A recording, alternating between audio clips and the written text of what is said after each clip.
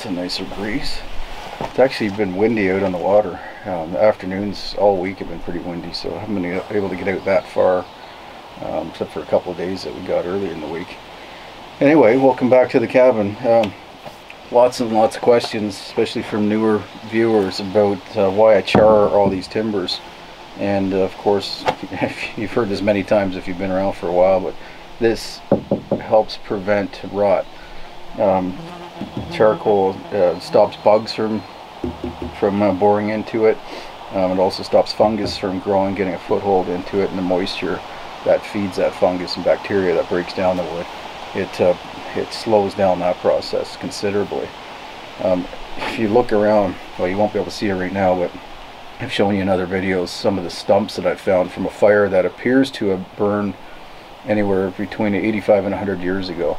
I don't know, have any history of it. I don't know the background exactly, but um, I'm guessing that age because most of the trees that I've cut down have been in the 85 year range or, or younger. Um, mind you, there's you know a growth phase at the beginning that's really hard to see those growth rings, so it could be closer to 90 or 100 years. Uh, those stumps are still there um, in the ground, showing like full charcoal, charcoal rings and stuff that showing that they have not rotted or everything else has been rotted. I don't see any other stumps that are just uh, rotted that from that period. They're all, all gone completely, the ones that are not charred. So that's why I'm doing this. It started with, uh, it's Japanese technique for for preserving wood that was used mostly for exterior applications and then oiled. I'm doing it below grade. It's just too much surface area for me to oil. I don't have that much oil.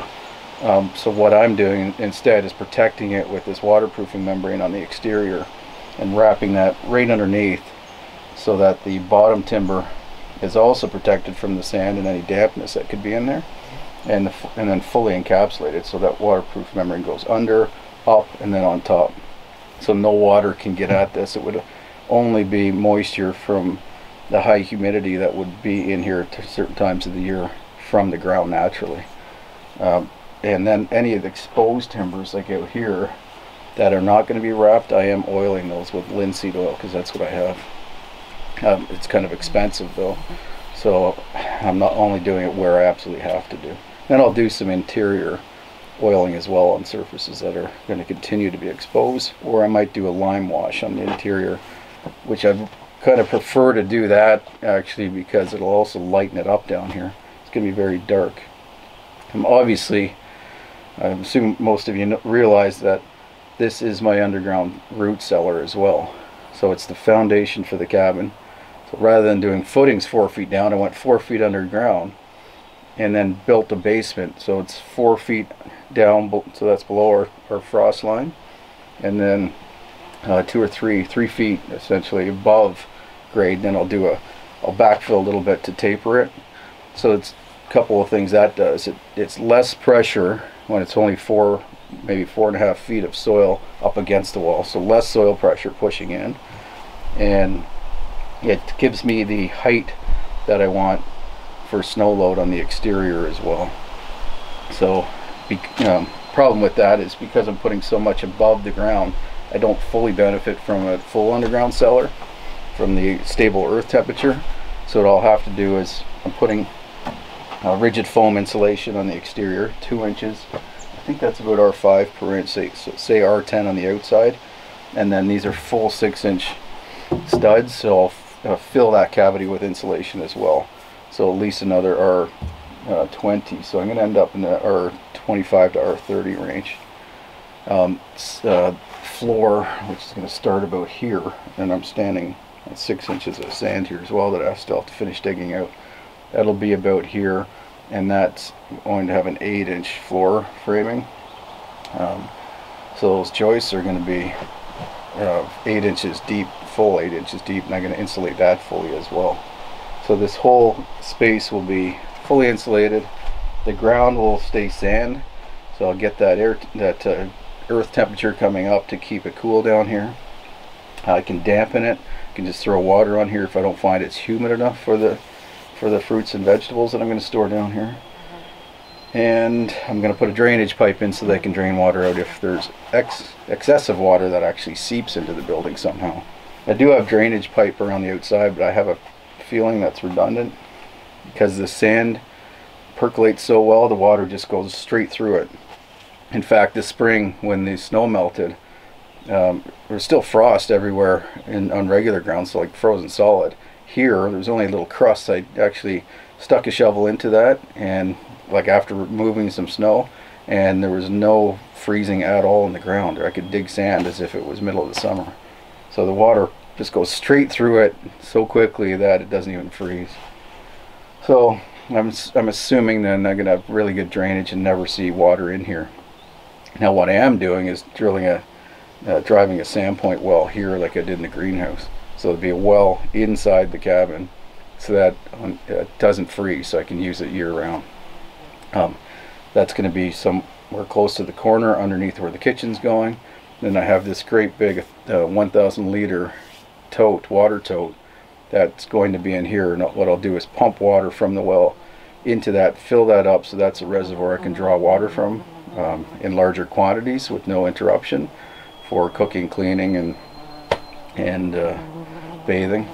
And then um, that will also be a, a, big mass that's going to stop things from freezing in here again in the winter if it gets uh, gets quite cold. So I'm assuming that's um, I think it's all going to work. Now the other thing I need is ventilation.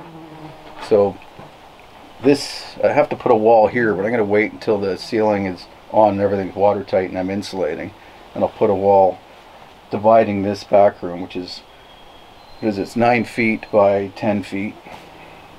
Or probably nine feet. It's ten, nine feet by nine feet exactly in, inside actually. Yeah.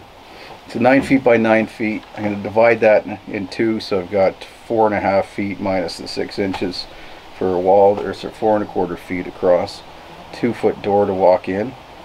I'll have shelves all along here, along that back wall, and um, that's going to be for, for storing fruit or vegetables or both.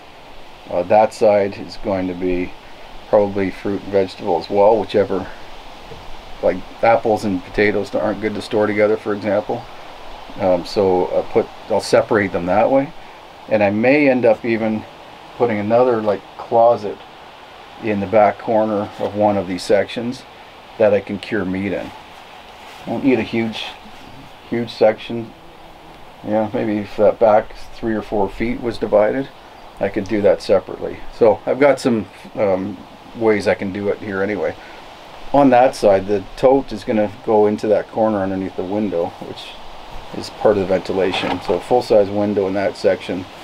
Two probably four or six inch pipes coming out of each each of these two sections for for ventilation. And then that door over there I can leave that open to get airflow down into this section because that door will be inside a heated space. So I, am going to have lots of ventilation. So anyway, the tote will go back into that corner beside the well, which is just a pipe coming out of the ground with a pump on it. And then that whole section, that whole wall on there, which is nine feet long, that's available for, for storage. And potentially either on that wall or this wall is where I'll put my battery bank for the solar uh, power that I'm running to this cabin. Yeah, not sure. Yeah, probably over there. Anyway, that's uh, hopefully answering some of your questions about this phase of the construction. Um, it's going slower than I thought. Just the burning of the timbers takes absolutely forever.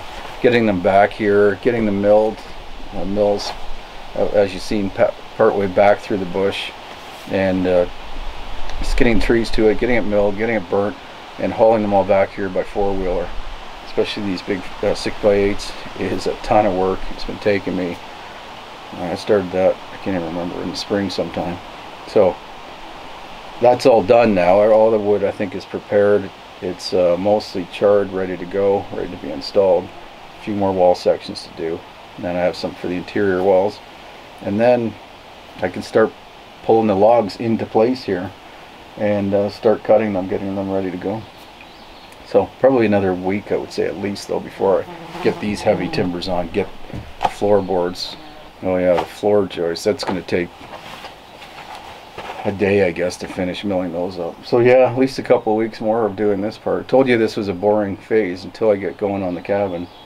The logs themselves is going to be slow pace, but anyway, it's summer, and I'm going to take out time out to enjoy it. As you saw on the other channel, Cali suffered from heat stroke yesterday, so just not going to push it on those hot days with her with me.